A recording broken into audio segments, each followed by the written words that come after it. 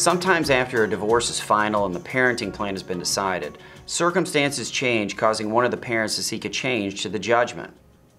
You or your former spouse can return to court and file a motion to modify when such changes occur.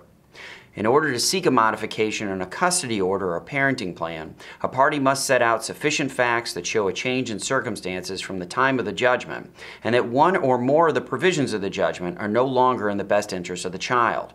If the standard seems somewhat lacking in specificity, it is by design. Ultimately, the court must do what is best for the children. Generally, when a party seeks a modification, it involves a change in legal custody, a change in physical custody, a change in the parenting plan, or sometimes all three.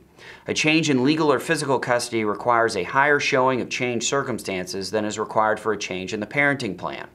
Essentially, the court will go through the same decision making process originally used, but will use the current circumstances to reach a conclusion. Modifications are very complicated and often complex matters, particularly if a party seeks a change in both legal and physical custody.